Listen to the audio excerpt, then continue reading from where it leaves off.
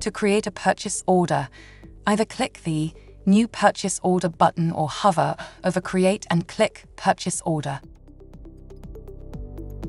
First, you can fill out the purchase order details and change any of the header fields to suit.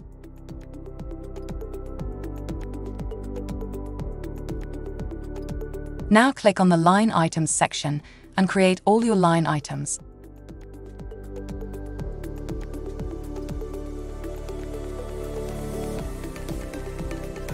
To create additional line items, click the Add New Line button.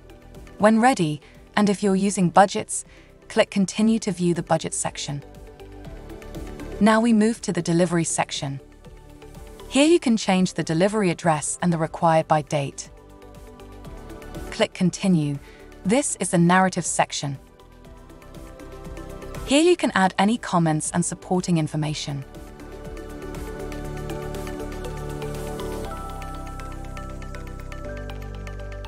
Click Continue when you are ready.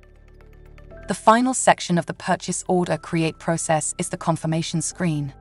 When you are happy, click Create and your purchase order is created and displayed in the purchase order list.